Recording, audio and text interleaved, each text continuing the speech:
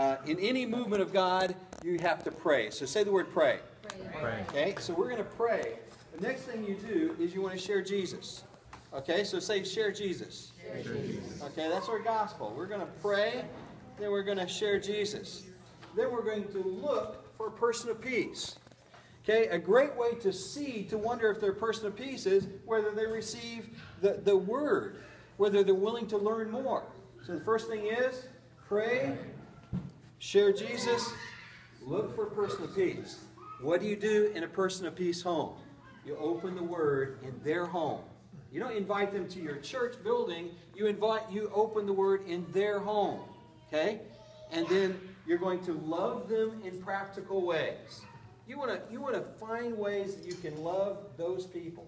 Okay? So let's review at this point. First thing is we're going to pray, share Jesus, look for a person of peace, open the Word of God in their home, love them in practical ways, and last is follow the oikos. Follow those relationships. Follow the oikos.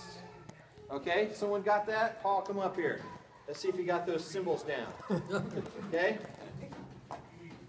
I help you give a picture, and then we're going to talk about how do you begin to map this oikos. Figure out and list that so you know where you're going. So what's the first thing we do?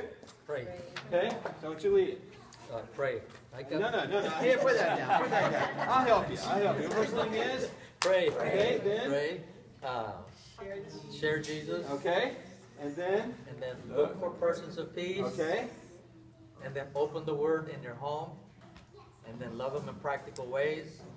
Follow the oikos. okay, good. Come on up. Let's see. Ashley, come on up.